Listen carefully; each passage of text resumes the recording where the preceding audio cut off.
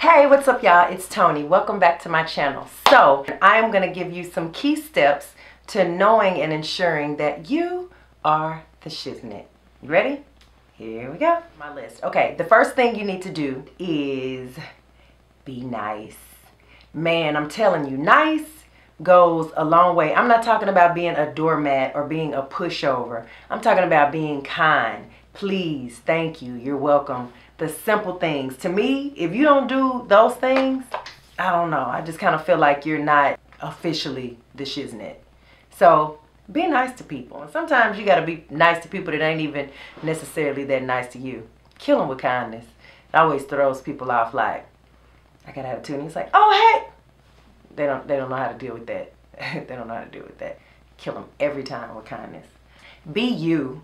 Don't be afraid to stand behind what you believe in. Don't be afraid to simply be you. I think people feel like being them is not enough sometimes, especially in the age of social media. Even myself, dang, am I doing enough? Whether that be as a wife, whether it be as a mom, as it be as a single, whatever it is, there's always somebody out there like, putting something out to make you feel like, oh, maybe I ain't killing it as hard as I think I am.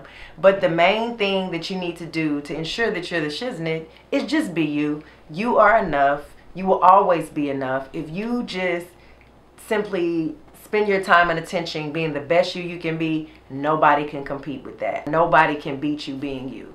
Point blank to the period. Be grateful be grateful. There are, I'm putting this list out here, and these are all things that I have to even check myself on sometimes because I, keep going back to social media, but I think that that dictates a whole lot. There's statistics about what people are going through in life based on social media, and it's like you got you you looking at social media all day, so you tend to feel like you're not doing enough, you don't have enough, you haven't been enough places because your friend after all is in Tahiti and don't don't get caught up in that. Don't don't get caught up in that. Um, be grateful for what you have because guarantee there's somebody out there begging for the life that you feel like is not enough. I, I know it. It's, it's always that way. So be grateful. That's one of the traits that people that are the shiznit have is is gratefulness. A heart of gratitude goes so far. And then I also believe that if you're grateful, God can bless you with more. If you always, if my own kid walking around is like, I wanted something, I don't want this no more. It's like, dude, not only am I going to take that, I ain't getting you nothing else because you just unappreciative. So you definitely have to exude the traits of a grateful heart. All right? Okay. Another thing that is important is the ability to speak up. Speak up. Um, it's sometimes hard. If you're not feeling a certain situation or digging a certain situation, you gotta say, look, man, I'm cool and we cool and this is, but I don't, this is feeling weird or this, I feel weird about this. And then a lot of times when you speak up and you get the whole, whatever the situation is, you'll feel differently about it. But if you just walk away like, well, I'm not gonna say anything, and then you feel offended about something and it's all for nothing. When you could just say look is it i felt like this when you said that. Is that what you meant? And they go no that's not what i meant. I meant a b c and d. And it's like okay here i am stressed about something that i was completely wrong about. Speak up and move forward petty. You can't be the shiznit and be petty. You just can't do both. I mean you just can't um, all of us have days, myself, some mornings I just wake up like, you know, I'm feeling petty today. I'm feeling whatever. For the most part, I don't do that. Everybody gets a pass, but you only get four petty passes a month. You can't, anything past that is like, like, cause then you just full blown petty. Cause you think, I mean, like once a week, four times is like once a week. If you being petty like more than one, this is like, okay, now you just, now you just full blown petty. Got your petty certificate. You don't want to be petty. Example of petty. I don't like her. Why? Because I, mm, not because I just don't. It's just something about, girl, just say you think she cute. Petty is understandable if you're like high school, fresh out of high school, even early 20s.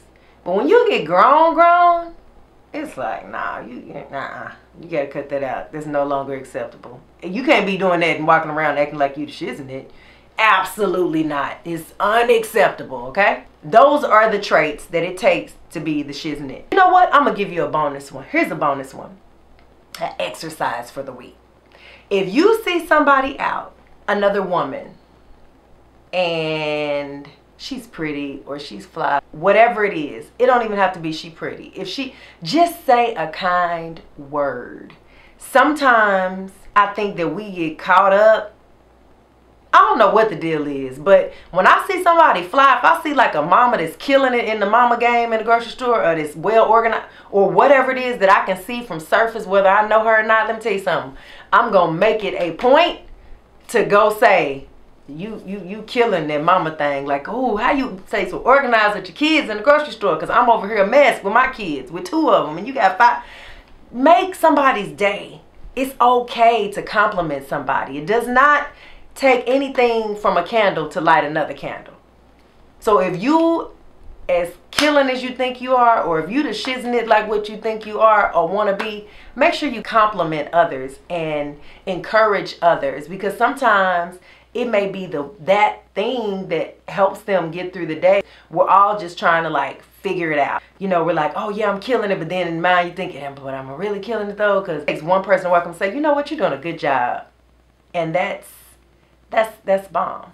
Women are like we just got that thing that can make greatness happen, but we have to be willing to share. I have a friend who taught me so much in the photography game, willing to just give me all the information.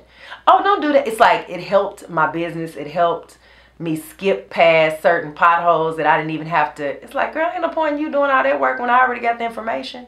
Just greatness. Shout out to Christin Armstrong. And all of my friends that I call my friends that I hang with are that way. So try to surround yourself with women that are the shiznit and start a movement.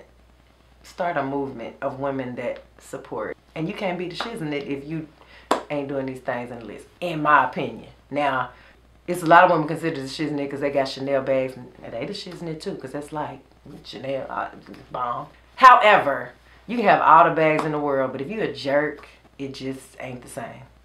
Do a self-check. Are you the shiznit? Are you the shiznit? I am. I feel like I am on most days according to this list. Now, sometimes the petty kick in or sometimes the, you know, every now and then we hit a bump. But it's all good. So anyway, I hope you enjoyed this video. I look forward to seeing you soon. Like, subscribe, comment, and share. And I'll see you soon. All right. Bye.